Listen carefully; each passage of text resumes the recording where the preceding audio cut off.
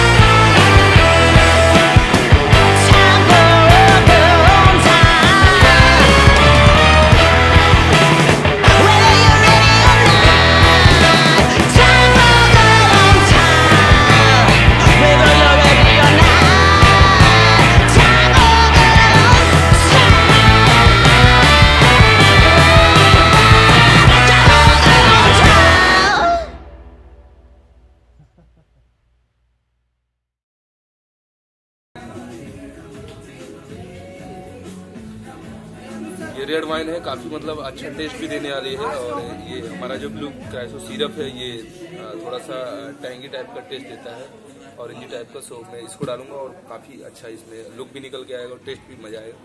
इसमें भी थोड़ा सा आइस और देना चाहूँगा। थोड़ा सा आइस और दे दूँगा। और अब इसको मैं पोर कर दूँगा। मज़ा आएगा पीने में।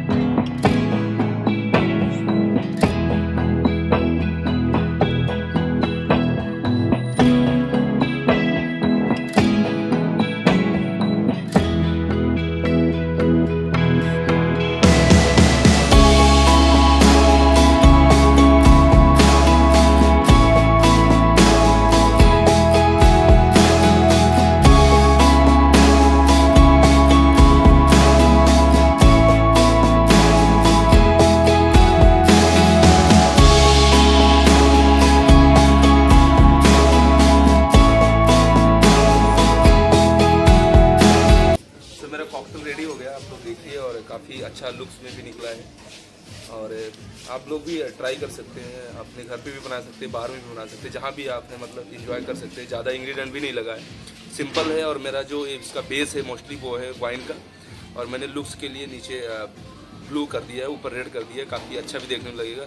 सो बस मेरा यही कॉकटेल था और आप लोगों को कैसा लगा ये ज़रूर बताइए कमेंट करके और अच्छा लगे तो लाइक एंड सब्सक्राइब ज़रूर कीजिएगा।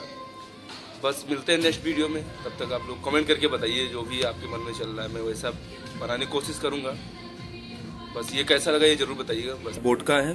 काफ़ी अच्छा एब्सोल्यूट होता है, स्वीडन का है। और ये बहुत ही प्रीमियम बोट का है। बहुत ही बेस्ट सो मैं ऐसे कॉकटेल लाऊँगा ऐसे बोटका के साथ। बिस्की हो गई हमारे पास, है ओल्ड मोंग है, ये टकीला है बिलियन लोसन बिस्की अभी नई लॉन्च हुई बट अच्छी बिस्की है अच्छा रिस्पॉन्स मिल रहा है इसका। सो आरिश टॉप है बोट का, ये भी नया अभी मतलब है पुराना बट अभी हमारे यहाँ नया आया है। एंड ये ब्लैक एंड वाइट है जिम जिम्बिम है। मतलब बहुत सारी ऐसे हमारे पास अल्कोहल है जिससे मैं कॉकटेल बनाने वाला हूँ सो आप लोग जुड़े रहिए। सो काफ़ी आप लोगों को मज़ा आने वाला है।